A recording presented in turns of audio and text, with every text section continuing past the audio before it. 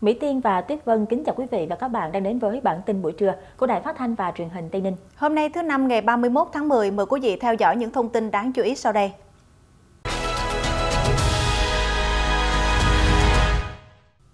Thưa quý vị, ngày 30 tháng 10 năm 2019, Ủy ban Nhân dân huyện Dương Minh Châu triển khai các luật, nghị quyết được thông qua tại kỳ họp thứ bảy Quốc hội khóa 14 cho cán bộ lãnh đạo các ban ngành huyện, lãnh đạo các xã thị trấn và các báo cáo viên, tuyên truyền viên pháp luật.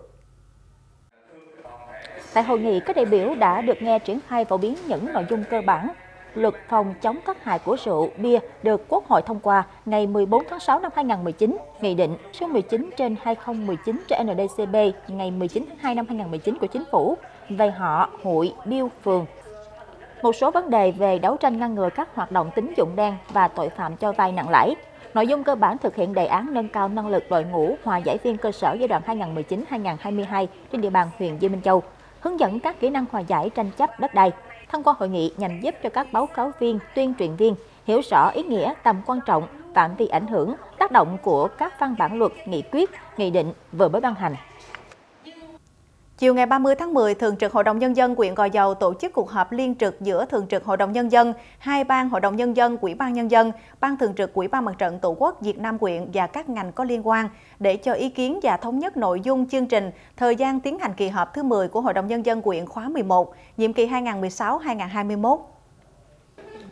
Dự kiến kỳ họp thứ 10 Hội đồng Nhân dân quyện Gò Dầu khóa 11, nhiệm kỳ 2016-2021 tổ chức trong 2 ngày, 19 và 20 tháng 12 năm 2019. Kỳ họp sẽ thông qua các dự thảo báo cáo của Ủy ban Nhân dân quyện năm 2019, tờ trình dự toán ngân sách nhà nước năm 2020 và phương án phân bổ ngân sách địa phương năm 2020, điều chỉnh dự toán chi ngân sách nhà nước trên địa bàn quyện năm 2019, tờ trình điều chỉnh kế hoạch vốn đầu tư xây dựng cơ bản năm 2019 và kế hoạch đầu tư công trung hạn giai đoạn 2016-2020, các dự thảo báo cáo của Thường trực Hội đồng Nhân dân quyện và hai ban Hội đồng Nhân dân quyện,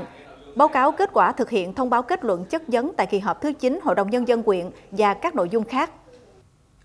Chiều ngày 30 tháng 10, Bệnh viện Đa khoa Cao Giang Chí tổ chức chương trình hội nghị phòng tránh bệnh mắt miễn phí cho hơn 30 người dân đến từ các huyện, thành phố trên địa bàn tỉnh Tây Ninh.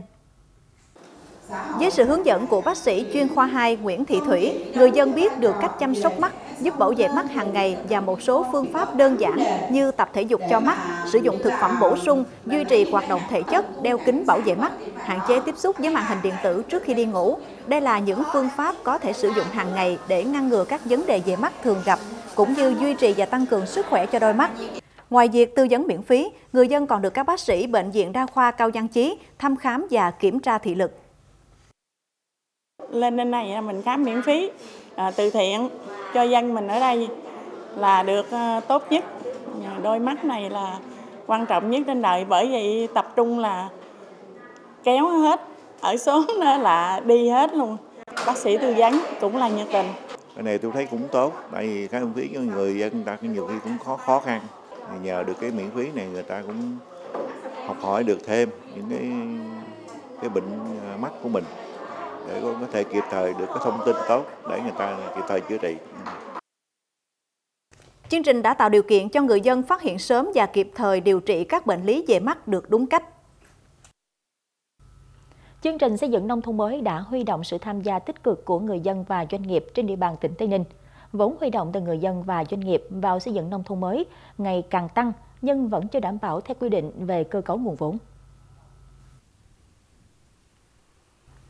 Tổng vốn đầu tư cho xây dựng nông thôn mới trên địa bàn tỉnh giai đoạn 2016-2019 hơn 9.200 tỷ đồng, tăng gần 27% so với giai đoạn 2010-2015. Trong đó, vốn ngân sách 3.174 tỷ đồng, chiếm hơn 34%, gồm vốn ngân sách trung ương 566 tỷ đồng, kể cả vốn trái phiếu chính phủ, vốn ngân sách địa phương gần 1.900 tỷ đồng, vốn lồng ghép từ các chương trình dự án hỗ trợ có mục tiêu khác 724 tỷ đồng,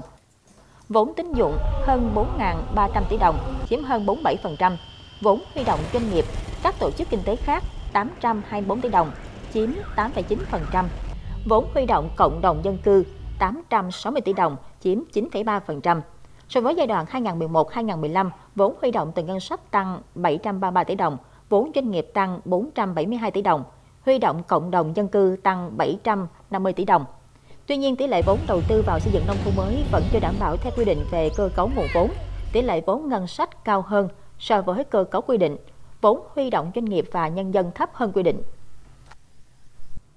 Sáng ngày 30 tháng 10, Tòa án Nhân dân tỉnh Tây Ninh mở phiên tòa xét xử sơ thẩm đã tuyên phạt bị cáo Đỗ Minh Thành, sinh năm 1989, ngụ xã Nam Đông, huyện Cư Rút, tỉnh Đắk Nông, về tội trộm cắp tài sản.